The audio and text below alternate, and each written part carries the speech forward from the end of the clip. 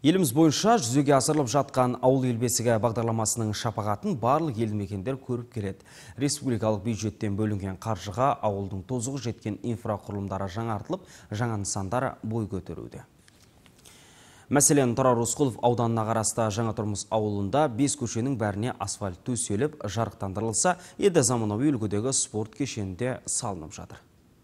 Жаңа тұрмыс ауылының ажары жыл өткен сайын ашылып келеді. 430 ауласы 2000-нан астам тұрғыны бар елді мекенде әлеуметтік жағдайдың барлығы оңды шешімін табуда. Оған әрине мемлекеттік ауыл ел бесігі бағдарламасының септігі молынан тиюде. Мәселен, дәл осы жоба аясында бүгінде спорт сарайы салынып жатыр. Оған республикалық бюджеттен 331 миллион 820 мың теңге бөлініпті. Былтыр қыркүйек айында басталған құрылыс жұмыстары қазір қыза түскен қазіргі таңға темір бетон конструкциялар мен металл конструкциялары бітті. Фасадты сэндвич панельдермен қаптау және ішкі кірпішті қалау жұмыстары жүріп жатыр Ауыл әкімінің айтуына қарағанда осы кезге дейін спортпен әуестенушілер мектептің тар залында жаттығып келген. Күрес пен бокс секциясы ғана жұмыс істейтін. Енді міне бұл мәселе түпкілікті шешімін таппақшы.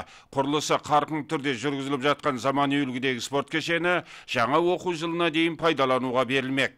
Жаңа тұрмыс ауылдық округ бойынша мектепте жаңа волейбол футбол үйірмелері бар, күрес залы бар, бұрын соңды жаңа тұрмыс ауылында бұндай спорт кешені болмаған. Сонымен қатар ауыл ел бесігі бағдарламасы бойынша мәдениет үйінің құрылысы және де асфальтталмаған бір ғана көшеміз бар. Қан сәтбаев көшесінде асфальттау жұмыстары жүретін болады. Ауылдағы жаңа амбулаторияның бой көтергеніне де көп болған жоқ. 2022 жылы пайдалануға берілген. Мұндағы ақ халатты абзал жандар ауруына ем іздеп келгендерге қалтықсыз қызметтерін көрсетуде. Жаңа нысан, жаңа медициналық құрал жабдықтармен жабдықталған. Мынау жаңа мекемеде жаңа оборудование, жаңа құрал жабдықтар медициналық соның бәріне қарастырылған физия ем қабылдау бөлмеміз де бар. Ол жерде жабдықпен жабдықталған. Жаңа тұрмыс ауылының басты проблемасы болған ауыз су мен газ мәселесі де 2022 жылы толық шешімін тауыпты. Бүгінде шыңыраудан шыққан таза су мен үйде үйге кіргізілген көгілдір отынның қызығын тұрғындар көріп жатыр.